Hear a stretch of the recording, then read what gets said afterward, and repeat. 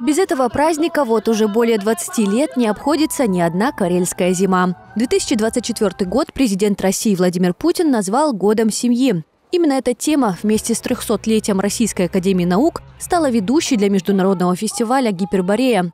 День закрытия фестиваля, несмотря на обжигающий мороз, все же был по-семейному теплым. Все началось с конкурса снеговиков снегком.ру. Погода не спугнула ни детей, ни взрослых. 120 человек слепили 32 снежных красавца. Одни из них – семьи Воробьевых и Давыденко. Их история о главном, конечно же, о любви, и называется «Влюбленный снеговик». Он прям к ней бежал со всем сердцем, упал, но сердце донес. И она его прям ждала. Скажи, ты помогал? Да, Как помогал? отлично. Ждем победы. Главная тема фестиваля «Гиперборея» и конкурса снеговиков – «Отечество. Великие умы». Отсылкой к прошлому стала работа Алексея и Марата Яникеевых. Глава семьи рассказал нам, что сын очень ждал мероприятия и собирал группу поддержки.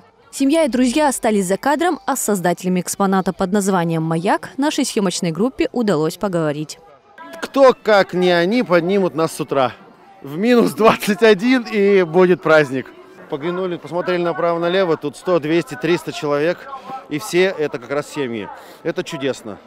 А команда из трех семей создала снежную скульптуру под названием «Кот ученый», вдохновившись произведением Александра Пушкина. Мы очень часто э, участвуем в конкурсах на гипербореи. Мы на самом деле первый раз, но в остальных достаточно активно ведем образ жизни активный. Как ты думаешь, вы победите? Уверена, потому что в округе, мне кажется, таких же скульптур, скульптур больших и красивых не наблюдается. Авторам фигуры «Кот ученый» вручили специальный приз от Совета женщин Петрозаводска. И это не единственный конкурс. Рядом с памятником Кусинину состоялось творческое состязание «Сладкий лед», где все желающие приготовили торты изо льда. В течение дня перед участниками конкурсов и гостями праздника выступали музыкально-танцевальные коллективы. Всех присутствующих угощали ухой. Также организаторы подготовили розыгрыш призов, интерактивную программу и конкурсы.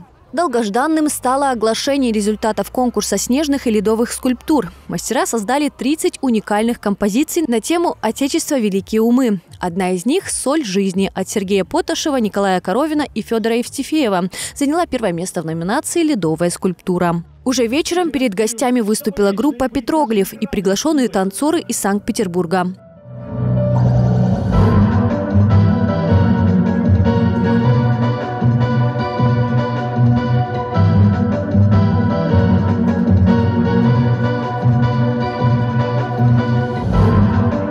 Петрозаводчан и гостей столицы поздравил с закрытием фестиваля глава Карелии Артур Парфенчиков. Он рассказал, что очень рад, что каток на набережной удалось возродить и в следующем году планирует сделать его в два раза больше. Всех еще раз с этим праздником.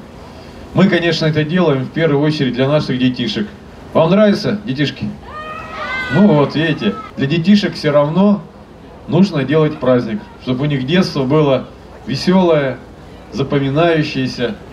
Так что всех с Гипербореей, ну и, конечно, наших победителей я от всего сердца поздравляю.